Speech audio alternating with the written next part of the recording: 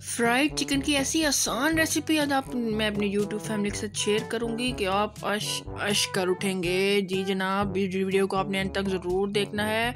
Fried chicken की इससे आसान रेसिपी और ऐसी टेक्निक आपने पहले कभी ना देखी होगी और मेरा नहीं ख्याल कभी सुनी होगी। इस वीडियो में आपके फ्राइड चिकन से रिलेटेड सारे मसाइल का हल के जी ब्लड निकल आता है चिकन कच्चा रह जाता है। ब्रीडिंग से मतलब जितने आपके जो सवाल थे, जो मसाइल थे, वो सब हल हो जाएँगे। आपने देखा है चिकन में बिल्कुल कोई ब्लड नहीं है। चलते हैं रेसिपी की तरफ़। और बिल्लाजीम बसमीम अल्लाम कैसे हैं आप सब? उम्मीद है सब खैर से होंगे। अल्लाह पाक का आपके सब घर वालों को खैर से रखे और हम मेरे भी सब घर वालों को खैर से रखे और हर किसी की, हर जायज़ हाजात को, हर ख्वाहिश को पूरा करे। आमीन। सब मुसलमानों पर अपना ख़ास कर नज़र करम करे। चलते हैं रेसिपी की तरफ़। जी तो आपने पहले करना है, आपने जो है चिकन को एक घंटे के लिए कम से कम पानी में सिरका और नमक डाल के उसको आपने भिगो कर रख देना है। मोस्टली ब्लड का निकलने का जो मसला होता है, आपका इसी एक टेक्निक से वो हल हो जाता है। मोस्टली चिकन के हड्डियों में से जो ब्लड होता है, वो पानी में निकल जाता है। उसके बाद आपने चिकन तरह वॉश कर लेना है। मसालों में इसमें जाएगा, सफ़ेद मिर्च जाएगी, इसमें पेपरिका पाउडर जाएगा, इसमें लहसुन पाउडर जाएगा और इसमें नमक जाएगा। और उसके अलावा इसमें जाएँगे जनाब लीमू का रस जाएगा और इसमें थोड़ा सा ऑयल मैं ऐड करूँगी। थोड़ा सा ऑयल ऐड करके आपने इसको अच्छी तरह से मैरिनेट करके चिकन को चिकन को मैरिनेट करके आपने इसको रख देना है। ओवरनाइट रख सकते हैं तो ओवरनाइट रख दें। जैसे आपको पता हो कि आपने ये कल बनाना है तो आप रात को मैरिनेट करके रख दें, लेकिन कम से कम दो से तीन घंटे आपने इसको लाजमी मैरिनेट करके रखना है, क्योंकि जब तक चिकन मैरिनेट अच्छी तरह नहीं होता, तब तक वो जो है उसको चिकन के जो बोटियों में उसका टेस्ट अच्छी तरह से रस, बस नहीं जाता। तो वो जो है आपने इसको ज़रूर मैरिनेशन बहुत अहम है।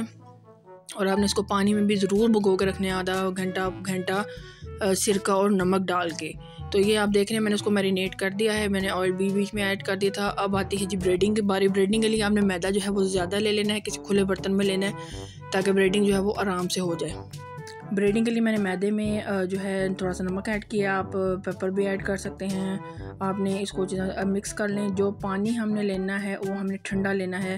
ठंडे पानी में पानी चिल्ड हो तो बहुत अच्छा है, यानी कि बहुत ही क्या, ये भी एक इसकी टेक्निक में ही आता है कि पानी ठंडा होना जो है बहुत अच्छा गर्म बिल्कुल नहीं होना चाहिए। और उससे ना जो ब्रेडिंग होती है वो एकदम से उसके ऊपर स्टिफ स्टिफ होती जाती है। अच्छा ये इसकी ब्रेडिंग की टेक्निक आप देख रहे हैं, आपने इसको मैदे को लगाना है, हाथों से, हल्के हाथों से, उसके बाद आपने इसको झाड़ना है, मैदे को आपने झाड़ना है। ताकि जो है एक्स्ट्रा मैदा वो उतर जाए। उसके बाद आपने इसको ठंडे पानी में जो है डिप देना है। उसके बाद दोबारा आपने उसको मैदे में डाल के दोबारा से उसकी ब्रेडिंग करनी है। ब्रेडिंग आपने हल्के हाथों से करनी है और इसमें आपने कोशिश करना है कि जो आप चिकन है उसको आपने नरम करना है। हाथों से अपने आप नरम करें चिकन को हिलाएँ, बोटियों को, उसको गोश्त को। इस तरह हाथों, दोनों हाथों में आप उसको हिलाएँ ताकि जो चिकन है वो नरम हो जाए और उसकी जो है वो ब्रेडिंग अच्छे से हो जाए। और ब्रेडिंग की एक, मैं ये भी बात आपको बताती चलूँ कि ये एक या दो दफ़ा करने से नहीं आती। मैं भी दूसरी तीसरी दफ़ा बना रही हूँ तो मेरी भी, ब्रेडिंग इतनी अच्छी नहीं है लेकिन जब आप पाँच छः दफ़ा ये बना लेते हैं मतलब कि वही बात है कि प्रैक्टिस मेक्स परफेक्ट तो आपने जब आप प्रैक्टिस करते रहेंगे तो ऐसा ऐसा आपकी ब्रेडिंग भी बिल्कुल प्रोफेशनल तरीके से होने लग जाएगी और प्रोफेशनल से मेरे कहने का ये मुराद है कि बाज़ार जैसे होने लग जाएगी हमने कड़ा बार थोड़ी ला के फ्राइड चिकन बेचना है लेकिन बहरहाल आपने ज़रूर इसको ट्राई करना है मेरी टेक्निक से बहुत इजी बनेगा।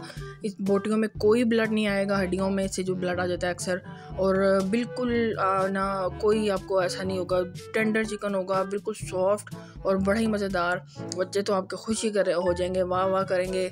और जब आप देखें ना दो से तीन से दफ़ा जब पानी में डिप करें, उसको दोबारा से ब्रेडिंग करें, फिर उसको पानी में डिप करें।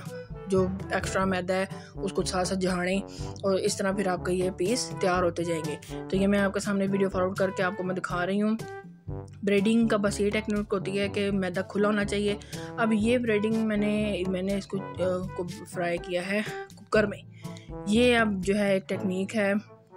जो मैंने आप लोगों साथ शेयर करनी थी। अच्छा मुझे ऐसे लगा था कि ऑयल जो है वो ठीक है, लेकिन नहीं, मेरा ऑयल थोड़ा जो है वो इस टाइम ठंडा था। मुझे पहले लगा था कि ऑयल गर्म है। आपने इतना ऑयल गर्म रखना है कि जब आप इसमें चिकन के पीस डालें तो वो उनमें उसमें जोड़ा जोड़ा तेल होता ना, वो कड़न लग पड़े।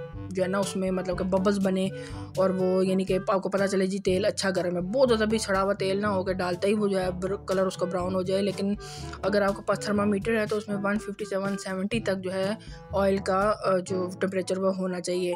जितनी देर इसको हम इसी तरह पकाएँगे ओवन में तीन से चार मिनट के लिए, उसके बाद हम इसकी साइड चेंज करेंगे। इतनी देर मैंने कहा, चलो मैं चिप्स बना लेती हूँ, क्योंकि चिप्स भी ऐसे भी चिपा के भी चिपकावांगे। एक बार जान छुड़ावांगे। तो तुम भी ज़रूर ट्राई करना है। एंड तक ज़रूर देखनी है आपने वीडियो और देखें, मैं फॉरवर्ड कर रही हूँ इसको। तो ये आप देखें, हमें चिकन जो है उसको जब हम इसको टर्न करते हैं तो उसका ये मतलब है कि यानी कि जो ब्रेडिंग है वो उस पर पक्की हो जाए चिकन पे। तो इसीलिए मैंने इसको पलट लिया है। अच्छी तरह से उसको आपने देखना है कि मतलब कि अब इसी में आप देख रहे हैं मैंने जो है फ्राइज़ भी बीच में मैंने ऐड कर दिए हैं। इसको हम मिक्स करेंगे और उसके बाद हमने कुकर बंद कर देना है। जी जनाब, हम फ्राइड चिकन बनाएँगे कुकर में और कुकर को हम बंद ऐसे करेंगे कि उस पर हमने सीटी नहीं लगानी। इसको आपने सिर्फ़ सात मिनट के लिए कुक करना है। सात मिनट के बाद मैंने इन दोनों को निकाला। तो इनकी ये शक्ल थी, बिल्कुल रेडी थे। तो मैं आपको दिखाती हूँ कि जी ये क्या ज़बरदस्त जो है रिज़ल्ट इसका आया है, ये देख लें आप। फ्राइज़ भी बिल्कुल रेडी हैं और जो फ्राइड चिकन है, आपको मैंने कहा है कि ब्रेडिंग मेरी भी इतनी कोई भी अच्छी नहीं है, क्योंकि मैंने भी दो तीन दफ़ा ही बनाया है। लेकिन आप जैसे जैसे बनाते जाएँगे तो आपकी ब्रेडिंग की जो टेक्निक होती है, वो परफेक्ट होती जाएगी। तो प्रैक्टिस करते रहें, मेरी रेसिपी को ज़रूर फॉलो कीजिएगा। वीडियो को एंड तक ज़रूर देखा करें। और देखें कितना ही ज़बरदस्त बना है। और कोई बात नहीं कि बिल्कुल अगर आपको वो वाली फीलिंग नहीं आ रही है जी आ, मतलब कि बाज़ार वाली लेकिन आप दो से चार दफ़ा जब बनाएँगे तो आपको वो फीलिंग भी आने लग जाएगी। क्या खूबसूरत माशाल्लाह देखें प्लेट बनी है बच्चे आपको खुश हो जाएँगे कि चलो जी माँ ने आज तो सस्ते में फ्राइड चिकन खिला दिया है। तो आपने ज़रूर बनाना है अपना ज़रूर बहुत ख्याल रखिएगा दुआओं में मुझे भी ज़रूर याद रखिएगा। नेक्स्ट वीडियो में मिलेंगे तब तक के लिए अल्लाह हाफिज़।